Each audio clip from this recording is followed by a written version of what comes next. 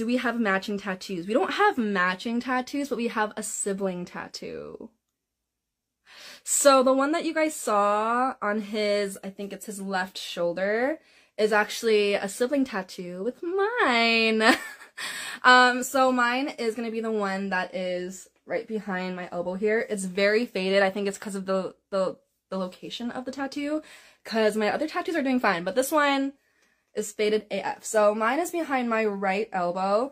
Now there's a reason why, so this wasn't planned, but it actually, it actually worked out really well. So we were, he was living uh, somewhere else at this point, but we were talking about how we wanted to get sibling tattoos. And so we wanted something that still represented our culture and our background. And so these are um, designs from like old, um, like Korean, like house art statue stuff. I don't know, I don't know what it's called. But if you know what I'm talking about, you know what I'm talking about. yeah. So it's um like one of these old Korean artwork pieces and there was a bunch and we both each picked uh, one that we liked. So he picked a more manlier version of it. I picked a more girlier and tain- like a dainty version of it, and mine's smaller. He got like I think his is like the size of his the palm of his hand. Mine is literally just like this little box right here. She's really cute. I do want to like add I think flowers or something or extend this a bit more and make it nicer.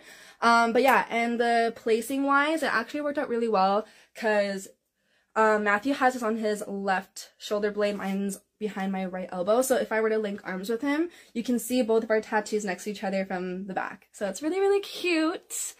Uh, what does Matthew's HMC tattoo mean? That means Howl's Moving Castle. So he actually got the tattoo in the honor of my mama because my mom's favorite movie is Howl's Moving Castle. So that's why he's got that on his arm.